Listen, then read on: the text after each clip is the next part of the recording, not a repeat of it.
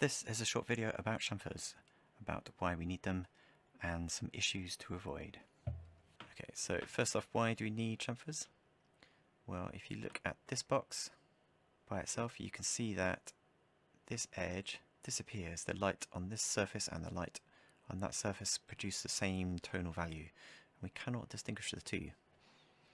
But if we go and add a chamfer modifier, now we get a nice highlight across that edge. And by adding more resolution to the area, we get a more defined highlight. And that is good because that now differentiates between these two surfaces. So here are a bunch of objects, all with chamfers using different techniques. The problem we are trying to avoid is this one.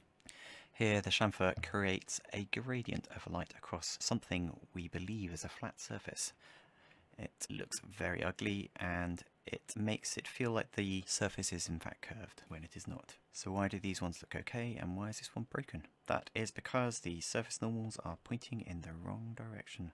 Because even though this surface looks believable, it is an approximation of a real surface, not actually physically correct. What is the problem? Well, if we look at this green line, this represents the surface normal. It is placed on a vertex and it is the average of all the adjoining faces. If that surface normal is not perpendicular to the main surface, then light will bend across the surface. So over here in this corner, light's going to bend off this way, over in this corner it's going to bend off that way, and over here, etc. I can correct the light by correcting the surface normal. So in Max we have a feature called weighted normals, and I believe this exists in Maya and Blender and every other package. So now this normal is weighted, it favours the biggest face. And because the biggest face is this big flat surface, it points the normal perpendicular to this surface and corrects the shading. So bad, good. So for games this is a great solution because the poly count is very low, the lighting looks correct. If we have a bigger chamfer then the silhouette starts to break, so we're going to need some more segments to redefine the silhouette to make it nicer. And you can see that as we add more segments, so from here to here, it appears to cure our light bend problem. But it never quite gets there. You, you can still see the light dimming into that corner over there. And that is because no matter how many edges we add onto this segment,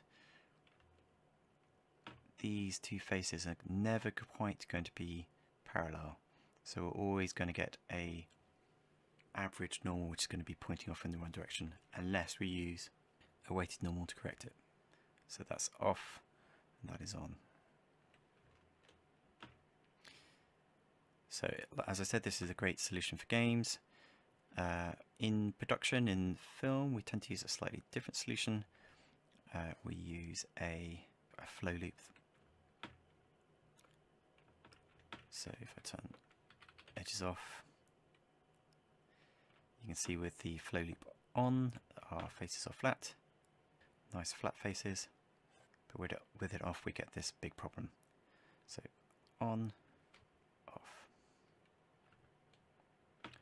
And that is because, if we look at the normals, these vertices are being averaged across parallel faces. They produce a nice perpendicular normal which gives us a nice flat piece of shading. So once I've got that shading, I can then, if I'm in production, I can subdivide it and get some nice crisp edges. Quite an expensive solution for games because we've now got several thousand polygons in a box, um, but perfectly good for a production renderer.